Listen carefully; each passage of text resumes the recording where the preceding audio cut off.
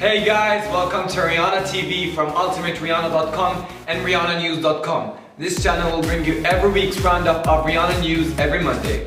USA's most popular beverage, Vita Coco, has now officially added Rihanna to be their official face of their summer campaign. Like we have mentioned before, Rihanna is nominated for 18 Billboard Awards and she's going to be the opening performance. And a new commercial for the award show has been released. The chart toppers, the hit makers, and the record breakers come together live, and only one place can handle an event this hot Vegas. For the first time on ABC, the Billboard Music Awards. Rihanna finally reveals the official single cover of Man Down on her Twitter account, which is going to be her fifth single off of Loud.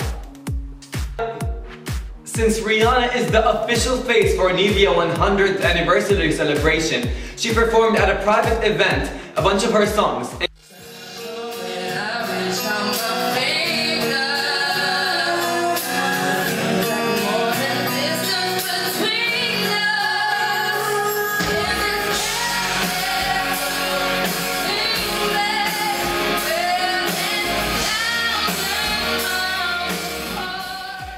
Now a new advert that features California King Bed has been released for Nivea.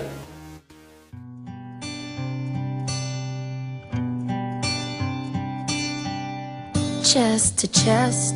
There's one cream that's been trusted to care for skin for a hundred years. We were always just that close. Rihanna recently shot a commercial for Nivea herself and there was some behind the scenes footage of the shoot. Hey guys, I want to say hello to all my friends at Nivea. This is really, really an exciting, exciting journey that I'm looking forward to embarking on with you guys and sharing with you. It's kind of crazy how we came full circle and now working together towards the same message. Rihanna reaches 5 million followers on her Twitter account and is so close to reaching 33 million likes on Facebook. So make sure to follow her on Twitter and like her on Facebook.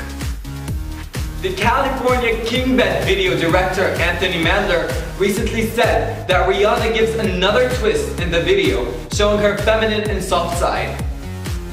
Rihanna was recently in Ukraine performing at the Donbass Arena for the 75th anniversary of FC Shakhtar Club. She started with Only Girl and ended her performance with Umbrella.